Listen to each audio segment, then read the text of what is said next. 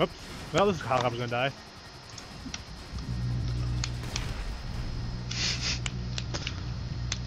I almost made it. oh god.